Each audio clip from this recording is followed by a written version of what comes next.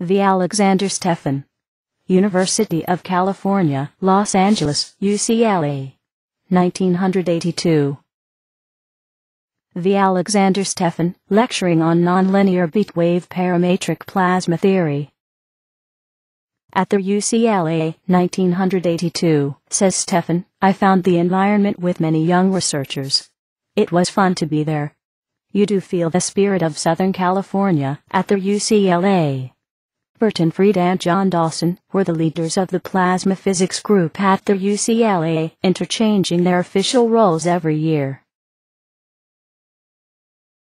In the late 1960s, John Dawson was a guest of the Lebedev Institute of Physics, Soviet Academy of Sciences, in the Department for Plasma Theory, led by Viktor Pavlovich Silin, where I was doing research from 1977 until 1981. Those were the times when the parametric plasma phenomena theory was in the initial phase of development. The Silin School was one of the most active in the world in that area. John and I were sort of the Russian cousins, so to speak. I discussed in depth with John the beat wave plasma physics, at that time a hot plasma topic.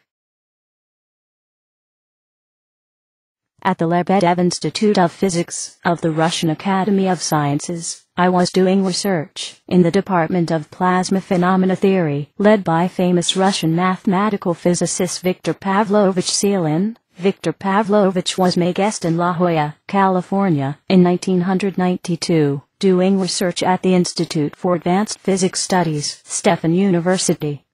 Viktor Pavlovich Silin was my doctoral thesis advisor.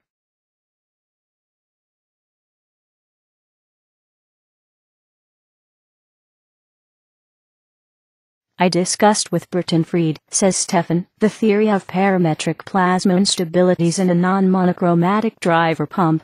I had met Burton Fried earlier, at Como on Lake Como, Italy, in 1980, during the European Conference on tokamak fusion. Thomas Stix from the Princeton University introduced us. At the UCLA, says Stefan, I developed the theory of parametric plasma instabilities in a non-monochromatic driver pump. I focused on the double parametric resonance in ionosphere, using radio frequency beat waves.